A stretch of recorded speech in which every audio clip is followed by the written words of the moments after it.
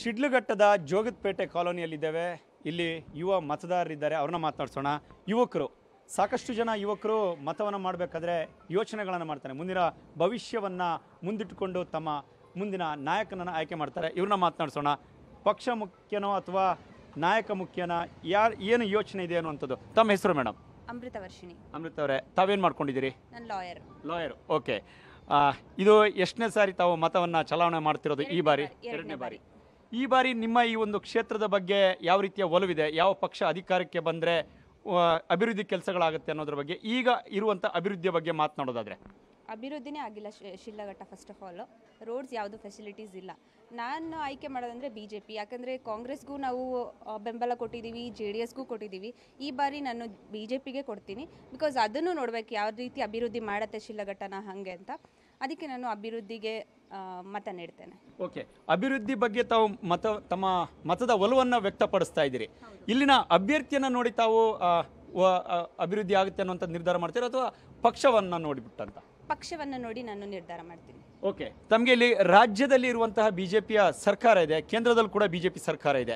ತಮಗೆ ಏನು ಅನ್ಸುತ್ತೆ ಅಭಿವೃದ್ಧಿ ಬ ವಿಚಾರದಲ್ಲಿ? ಅಭಿವೃದ್ಧಿ ಆಗತ್ತೆ ಅಂತಾನೆ ನಾನು ಈ ಬಾರಿ ಬಿಜೆಪಿಗೆ ಮತ ನೀಡ್ತಾ ಇರೋದು.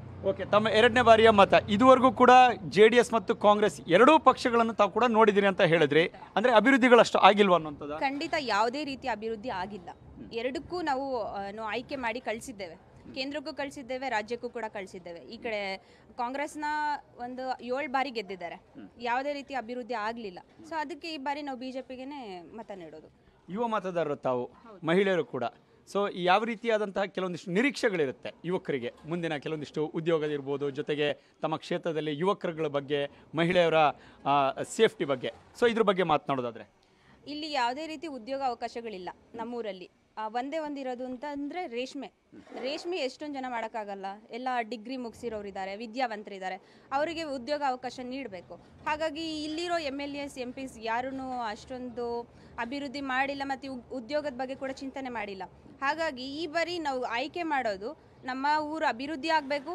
ಒಂದು ವೇವ್ ಕ್ರಿಯೇಟ್ ಆಗಬೇಕು ಅಂತ. ಹೇಗೆ ನಮ್ಮ ಸುಧಾಕರ್ ಅವರು ಯಾವ ರೀತಿ ಅಭಿವೃದ್ಧಿ ಮಾಡ್ತಾರೆ ಚಿಕ್ಕಬಳ್ಳಾಪುರನ ಹಾಗೆ ನಾವು ನಿರೀಕ್ಷೆ ಮಾಡ್ತಾ ಇದ್ದೀವಿ ಇಲ್ಲೂ ಅಭಿವೃದ್ಧಿ ಆಗ್ಬೋದು ಉದ್ಯೋಗ ಅವಕಾಶ ಹೆಚ್ಚಿಗೆ ಸಿಗ್ಬೋದು ಅಂತ.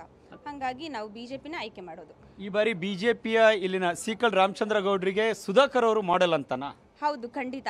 ಅವರು ಮಾಡೆಲ್ ಆಗಿದ್ದಾರೆ ನಮ್ಮ ಮೋದಿ ಅವರ ಮೋಡ್ ಹೇಗೆ ಅವರು ಅಭಿವೃದ್ಧಿ ಮಾಡ್ತಿದ್ದಾರೆ ಅನ್ನೋ ಒಂದು ಪ್ರಚೋದನೆ ತಗೊಂಡು ಅವರು ಇಲ್ಲಿ ಬಿ ಜೆ ಪಿನ ಆಯ್ಕೆ ಮಾಡಿರೋಂಥದ್ದು. ತಮಗೆ ಮೋದಿ ಅಂದ್ರೆ ಇಷ್ಟನಾ? ಖಂಡಿತ. ಯಾಕೆ? ಏನು ಅವರ ಯಾವ ರೀತಿಯಾದಂಥ ಕೆಲವೊಂದಿಷ್ಟು ಆ, ಗುಣಗಳು ಏನು ಗುಣ ಇಷ್ಟ ಆಗುತ್ತೆ ಅನ್ನುವಂಥದ್ದು? ಯುವಕರಿಗೆ ತುಂಬ ಏನು ಬಲ ಅನ್ನೋದು ಮೋದಿಯಿಂದನೇ ಬಂದಿದ್ದು. ಫಾಲೋವರ್ ಅಂದರೆ ಯುವಕರಿಗೆ ಮೋ ಆ, ವಿವೇಕಾನಂದ ಹೇಗೋ ಮೋದಿ ಹಾಗೆ ಅಂತ. ಓಕೆ. ಸೊ ಅಂದ್ರೆ ಸ್ಫೂರ್ತಿಯನ್ನ ತಾವು ಅವರಿಂದ ಪಡ್ಕೊಂಡಿದ್ದೀರಿ ಅನ್ನುವಂಥದ್ದು? ಹೌದು ಖಂಡಿತ. ಓಕೆ. ಓಕೆ. ಇದಿಷ್ಟು ಇಲ್ಲಿರುವಂಥ ಯುವ ಮತದಾರರಾಗಿರುವಂಥ ಅವರ ಅಭಿಪ್ರಾಯ.